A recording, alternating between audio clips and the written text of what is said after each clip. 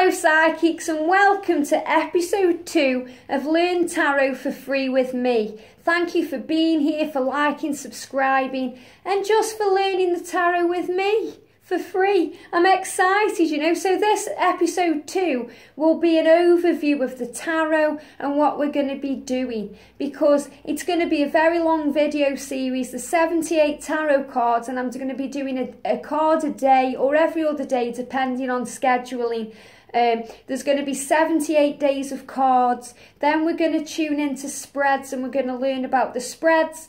We're going to bring it all together and we're going to end, however many episodes away that will be, with a huge live stream where we can all come together, use our cards and pull cards and, and really talk in the chat and see what's happening. So I'm excited for this series and I'm so glad that I can do it. I'm so blessed the angels have guided me to do it because I don't want you paying ridiculous money to learn tarot when you can do it here for free with me. So that's what this is all about. So welcome, welcome, welcome. Welcome. For this series, I'm going to be using two decks of cards. I'm going to be using the Gilded Tarot, which is my favourite deck of tarot cards. I've used them for about 12 years probably, and they're like a part of me. So the best deck you know, I can recommend to anybody to buy. They're so spot on, they're easy to use, they're clear, you know, the messages are beautiful, the pictures are beautiful, they're very uplifting. So if you want to know a deck to buy, then I can really recommend the Gilded Tarot. And a lot of you have already been asking me, and I have recommended this amazing deck. The other deck is one I, I got recently for this channel, and it's called the Arcanum Tarot.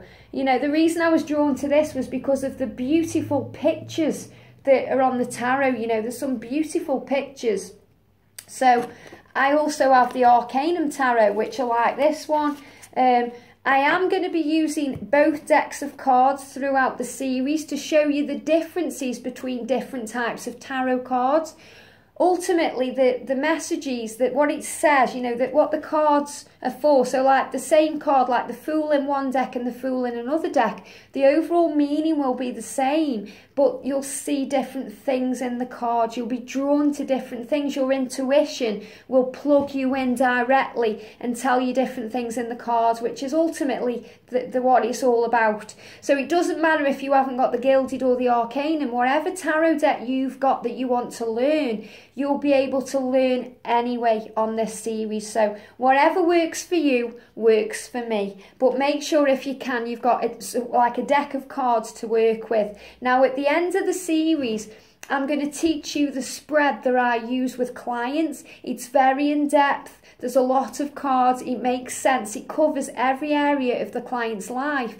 And by the end of this series, you'll be able to use that to read for family, friends, yourself, and even clients if you want to. You know, you don't need a certificate to say you're a tarot reader. I've got one, but you don't need one. You know, you just do that for your own ego, really. You do not need anyone to tell you you are, you are certified or qualified because this is a gift being given to you from above. So I'm going to teach you a spread that I've learned that's just beautiful and I use it every single time. I'm also going to teach you the Celtic cross spread but with a little twist on it. I'm going to show you the version that the angels guided me to use which is a lot different than the one that most people use. So if you want to learn the spread, the big spread that I'm talking about, you will need two decks of the same tarot cards. Two decks because I use two decks for that okay? But I'll explain more about that as we go on. But you'll need to purchase two decks of Gilded Tarot for that. So I'm just pre-warning you now so that when we get there, which will be what, three months time after 78 cards,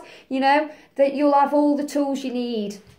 And a bit about the tarot then. Tarot's been around for years years and years and years. And you know, people associate it with black magic and darkness. But the angels tell me, whatever you're doing, if you're doing it from a place of love and light and peace and helping people, then it's all good. And I actually did a video about Doreen Virtue's take on tarot, and you can go back and watch that. And heaven is okay. You're not doing anything wrong. The tarot is just a tool. It's a tool of your craft, and you are the craftsman. And like any anything, if you do it from a place of love, if you use it to a positive advantage, you'll get positive results. You'll get love back. If you do it from a dark place, you know, then obviously you'll get darkness back. It's all about the person reading the cards. It's all about the person, you know, if you're operating from your higher self, from a place of love, you'll always give beautiful readings. And that's the whole point of this, this Learn the Tarot with me, you know. We're not going to do reversed cards in this because the angels tell me that that's seen the darkness in the tarot and there's no darkness in the tarot.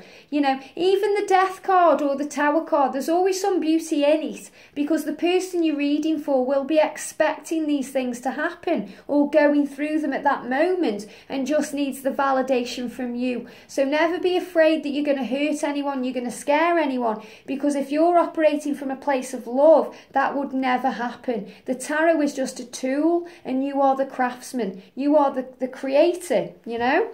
So it's just a tool.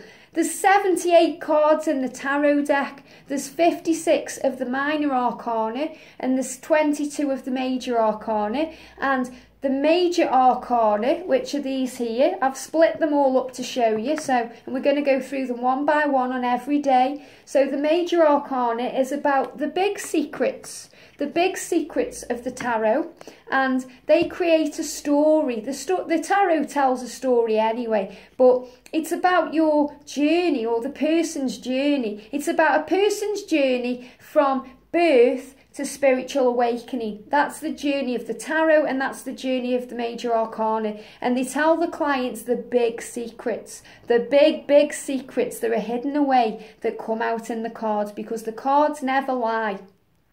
Then we've got the minor arcana, and there's 56 cards. There's four suits, a bit like the suits in a playing card deck. And there's four suits, and you've got wands, you've got swords, you've got cups, and you've got pentacles. And that's the way we're going to do it when we're doing the video series. We're going to do the major arcana first, from start to finish, 22 cards. Then we're going to go to the, the, the suit of wands, then the suit of swords, then the suit of cups, then the suit of pentacles. So we're going to go through them one by one. Each suit has got 10 cards in, and then there's four court cards, including a page knight, queen and king. So they all mean different things. So I'm going to talk a little bit about the minor arcana now, which are the the little secrets. So the majors are the big secrets, the minors are the little secrets. And the reason that I'm, I'm saying buy two decks of cards is when I teach you this long spread, we're going to use one part will be with just the major arcana, with just the big secrets that creates a little separate um, spread on its own. And then we use a full deck with both the big and the little secrets, the minor and the major arcana, to create the rest of the spread. So that's why we need two decks of cards. And honestly, trust me, you'll love it. It's absolutely amazing. Not many readers use it.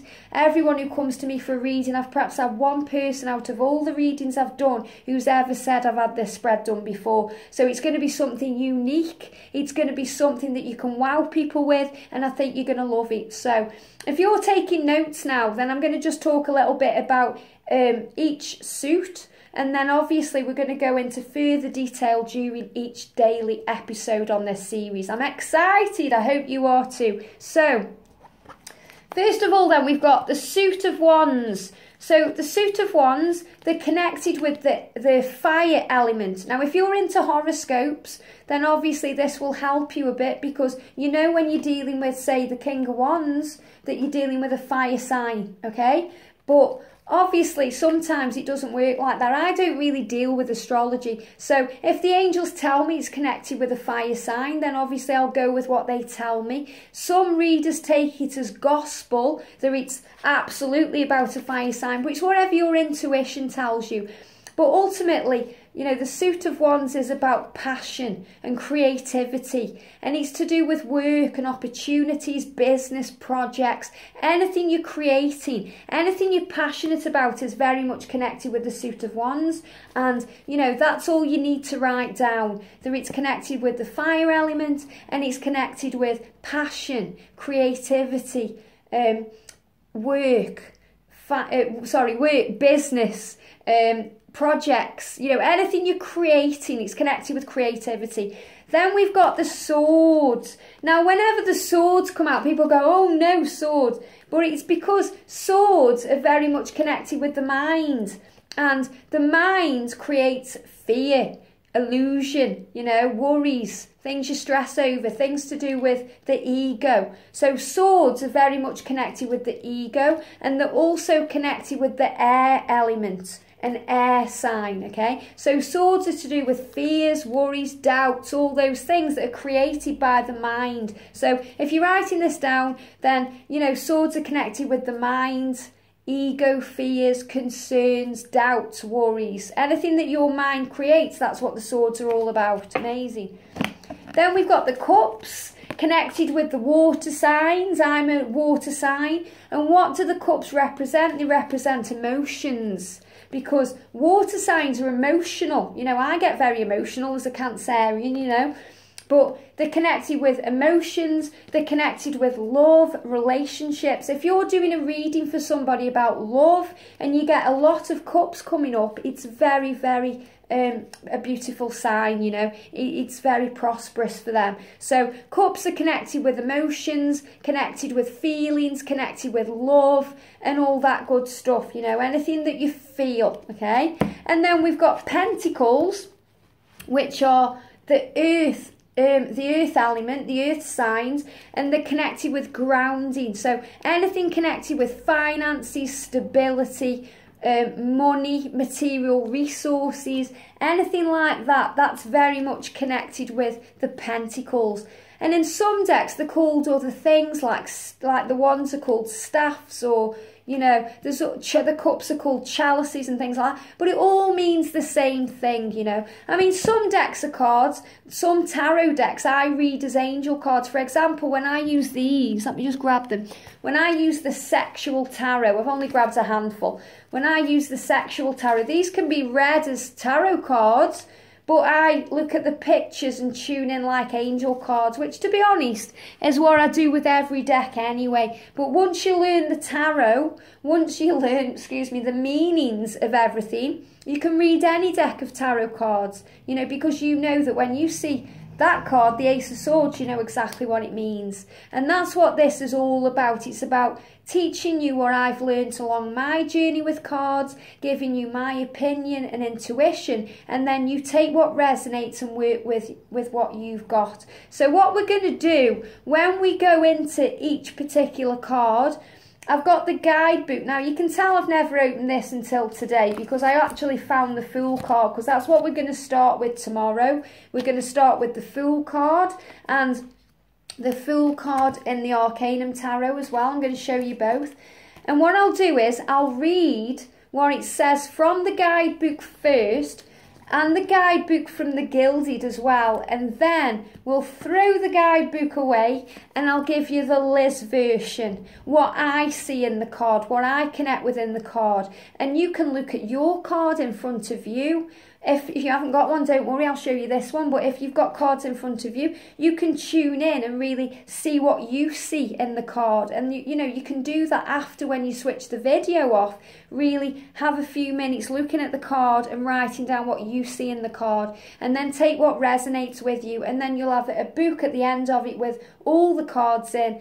And, you know, you'll be able to know that you can read tarot. How amazing is that? So, I'll be using the Arcanum Tarot and I've managed to fish out the, the Easy Tarot Handbook, which I had a long time ago because it's got the spread in there I'm talking about that I'm going to teach you. And, you know, I haven't, I didn't even realise I'd actually still got this book. I've had to find it.